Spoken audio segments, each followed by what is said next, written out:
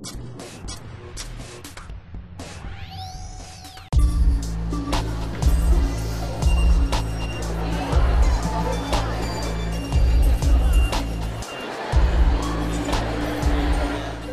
reason I'm standing here as a senior police officer is because this is part of our commitment to you. You'll hear it said a number of times this afternoon about this being our community.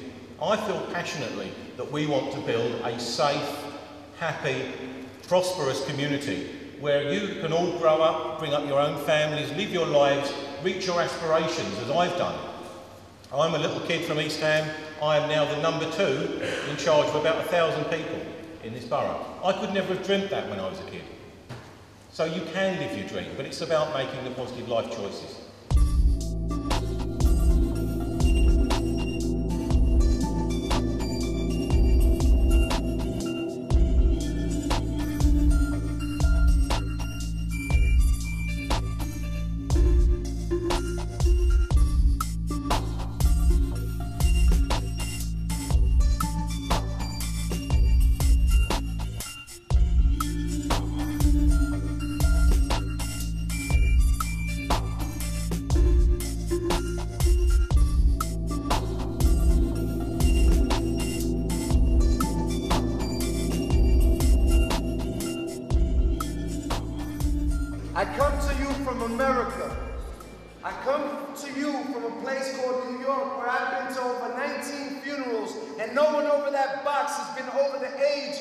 23. I come to you from a place where grandparents are burying their grandchildren in record numbers because kids think it's cool to represent a street gang, to turn their lives over to this idea that violence is the way, that gang violence is the way, that youth violence by any is okay by all means. I think that really touched me because it made me realise that like all the people that I'm having an argument with, I realised that there's no need for it, and like just every little thing that's happening in my life, and like just naturally, I just don't. I think it's really touched my heart, and I just I feel changed. I feel like it's changed me. And he talked about how glamorous and how beautiful gang life is, to the point that a reporter in my first interview here says, gang life was quite glamorous, wasn't it?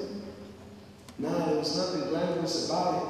There's nothing glamorous about wondering every day you step foot outside of your house whether this will be your last day. There's nothing glamorous about seeing people that you love, people that you care about in that box and realizing, wow, 19 years of age, there's nothing glamorous about having your freedom stripped of you and you're treated like an animal, stripped of your name, given a number, told when to eat, when to sleep, when to drink. There's nothing glamorous about that. But I think about this MTV culture and I think about these rappers and I think about how so many of my beautiful little girls think that that's cute.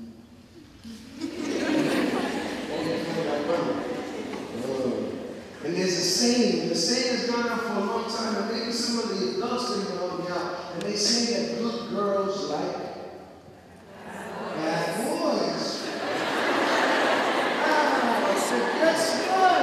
Wow, I guess, I guess we do know a little bit about what we're talking about. I guess we do have similarities. And so you know what? I'm tired of going to schools across, and I can say this now, the world. And I'll find the most, the cutest, most adorable girl going out with the dirtiest, ugliest, dingiest. I know a lot of people that's been involved in fights, that's been stabbed, that's died. No, a lot of people. A lot of people. people, a lot of things that's been going on. I think people have to oh be aware of the consequences. You know. See, no matter how much we try and act like we're different, whether it's between young and old, whether it's between black, brown, white, yellow, we have to realize we have much more in common than we think. We are in this one together. My brothers and my sisters, I don't use the term lightly. Yeah, I come to you by ways of, yeah, I was that kid on that street corner. I was a misguided kid that had no, that, that didn't know any better. But I sometimes sit back and wish and wonder, wow, what if in my neighborhood they would have offered us some alternatives? What if in my neighborhood we would have had brand new school books? What if in my neighborhood somebody would have put up a center where we could have gone and played sports and people would have reached out to us and said, listen, little brother, don't fall for the hype. Don't fall for what you see on television. Don't fall for what you hear on those radio stations. don't fall for what you see on that box because none of that is reality.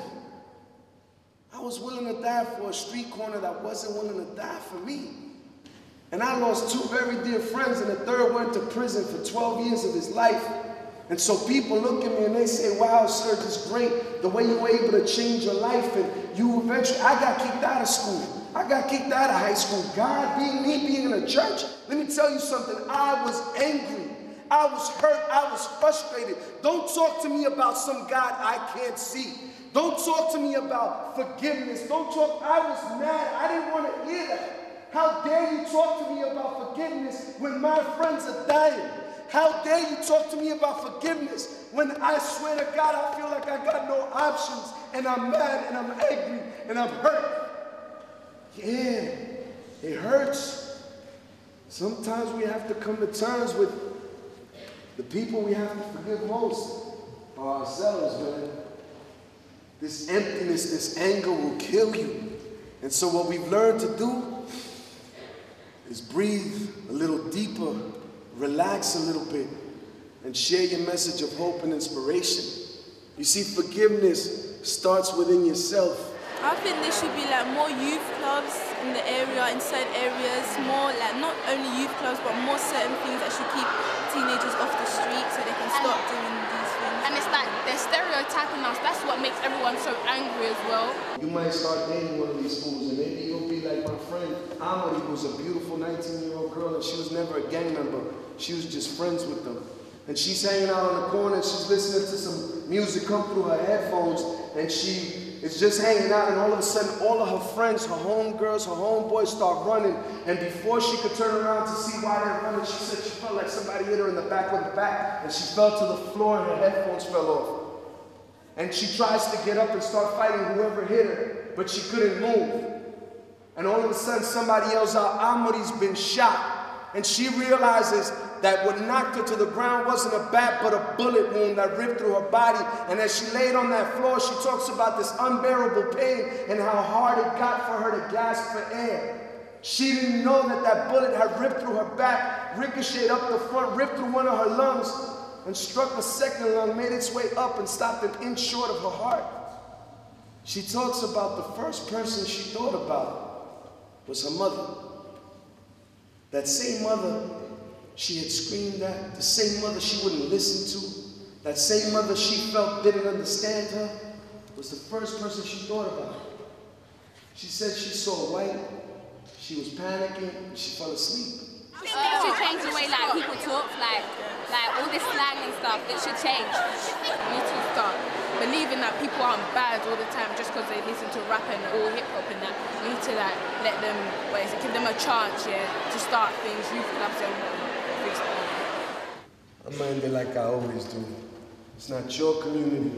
It's not my community. It's our community. And if we don't care of it, if we don't take care of it, who will? Thank you.